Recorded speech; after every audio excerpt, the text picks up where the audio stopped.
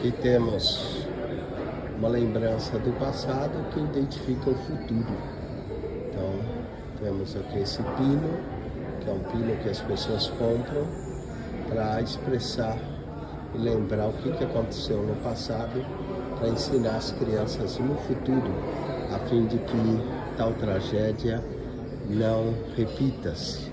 Ali está um memorial pino, é um pino memorial que eles vendem para as pessoas se lembrarem a humilhação que os judeus passaram, documentação, eles entrando nos campos de concentração, tudo que eles passaram no campo.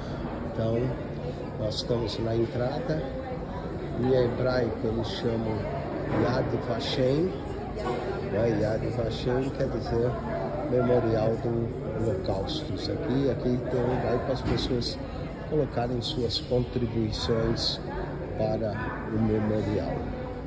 Vamos entrar logo ali para ver. Estamos aqui com o nosso grupo para acompanhar.